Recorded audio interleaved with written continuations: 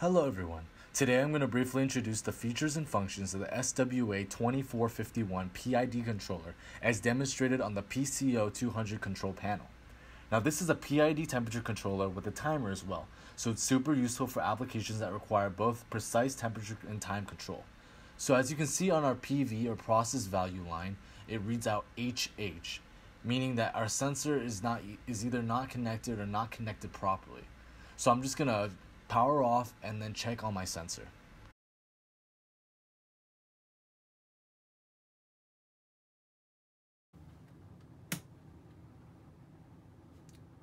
Okay, perfect. So you see the top line here, PV, is our process value, is what's reading from the sensor. And uh, your SV or set value line is indicating uh, your set temperature or your time when you're using the timer function. Now, these light indicators on the left simply read what is on or off. So your out indicator is on when your controller is giving power to your load. And then below that is alarm 1 indicator. Below that is alarm 2 indicator. And AT is the auto tune indicator. Now holding the left arrow key for 3 seconds will allow you to enter manual mode, indicated by the capital H on the bottom left, and you can use the up and down arrow keys to change your power output. So you can click the left arrow key again to exit out of manual mode. This SWA has a variety of other parameters that you can set as well, so you can change these parameters by entering the settings mode.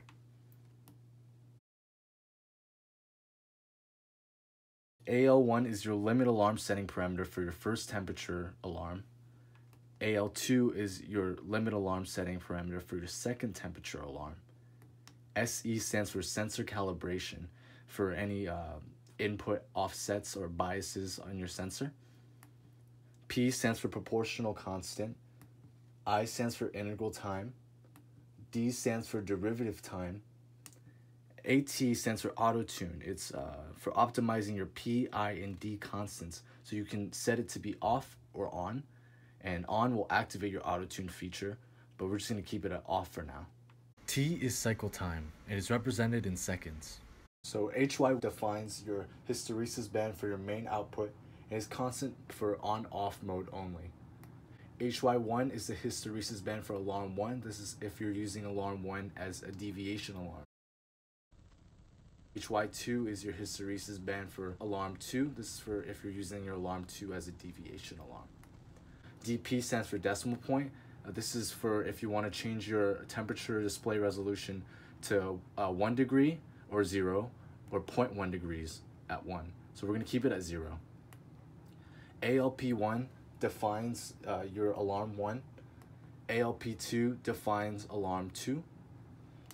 And COLL or cool uh, determines if your controller is working in cooling mode or heating mode. So off means cool um, heating mode and on means it's on cooling mode. So we're going to keep it at off for now. OPPO stands for output power, and for this controller it should always be set to zero. LOCK or lock allows you to lock your parameter settings so that the operator doesn't accidentally change any settings. SN is sensor. Using this parameter, the operator can tell the controller what kind of temperature probe is being used. OPA stands for output mode, and for this controller, it should also be set to zero always. DIL stands for your low limit for your set value or your set temperature. DIH stands for your uh, high, high limit for your set value or set temperature. And CF stands for your temperature display units, whether in Fahrenheit or in Celsius.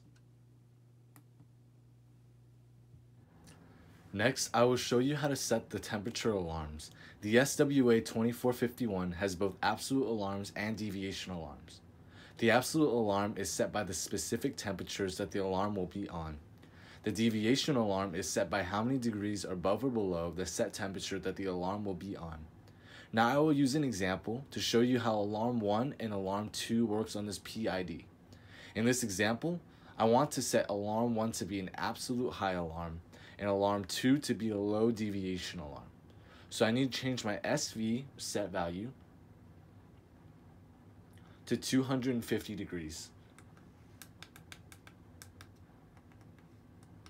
Next, I'm going to go into my parameter editing profile. I want to change AL1 to 250, AL2 to 10,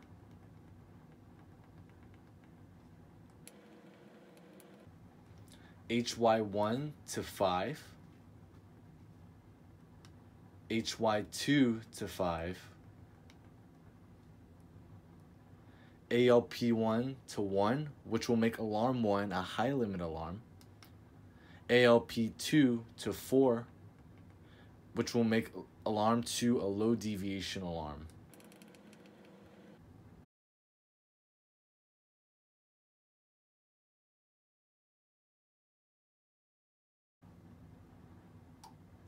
And as you can see, the AL1 indicator or the alarm 1 indicator will be lit when the temperature reaches above 250 degrees.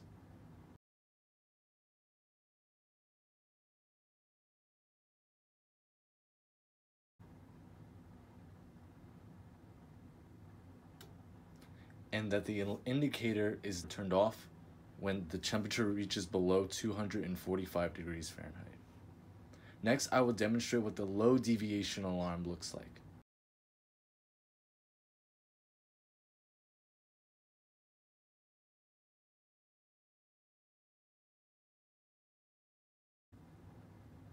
And you can see the AL2 indicator is lit when the temperature reaches to 240 degrees Fahrenheit.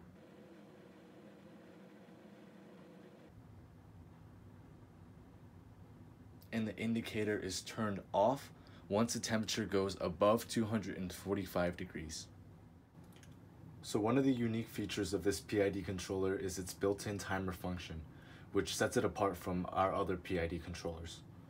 Right now, the SV is displaying temperature because the timer function is disabled. There are eight different timer modes, so I will briefly introduce how to change the different parameters. In the timer parameter editing profile, there are four parameters you can edit, TE1, TE2, UPT, and INT. TE1 and TE2 are the set value for the first and second timer. UPT is the parameter for selecting your time unit and timer counting direction.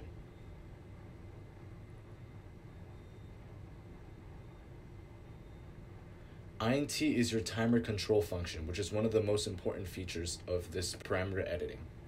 When INT equals 0, this will disable your timer feature. When INT equals 1, 2, or 3, the timer starts after the temperature reaches your set point. When INT equals 4, 5, 6, or 7, the temperature controller works like an independent timer. Now I will show an example demonstrating the use of the timer. So say you have a powder coating oven that needs to heat up to 375 degrees Fahrenheit, be held for 20 minutes, and then be turned off. The parameters that we're going to need to change are the set value to 375 degrees Fahrenheit. So I'm going to hold my up arrow key and change my set point to 375.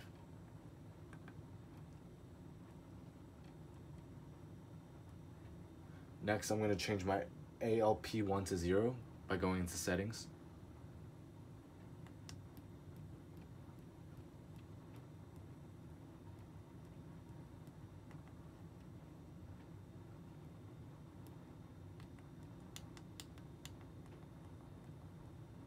I'm going to change my timer control functions by going into the timer editing parameters.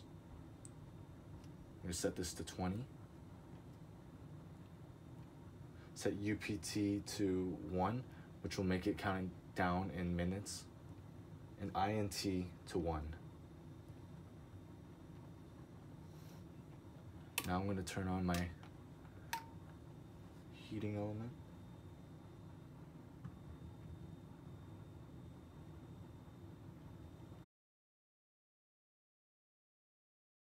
So I noticed my timer function doesn't seem to be working. So I'm just gonna power off my device and check the inside just to make sure that my terminals might be wired correctly.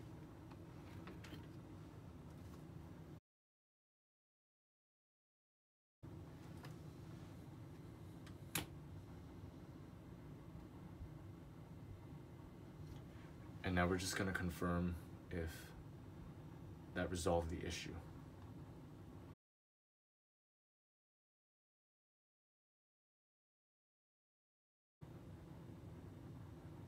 Perfect. And it seems to be that our timer is working. So this is a pretty common error, but just you need to make sure that your terminal 11 and 12 are jumped together.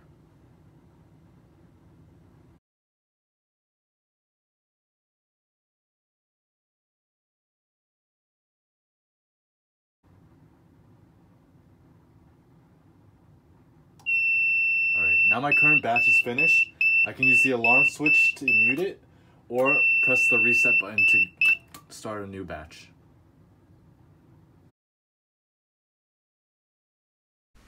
This is the end of the video. Thank you so much for watching, and we hope that the video helped to clarify any confusion with using the SWA 2451. If you have any questions about this product or any other products, please visit our website at www.auberins.com or by emailing us at auberins at gmail.com.